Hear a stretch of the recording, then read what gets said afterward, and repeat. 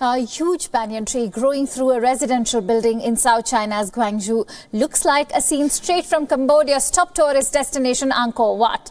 The tree is so deeply clutched to the four-story building that anyone can believe the tree might have rooted and sprouted from within the buildings.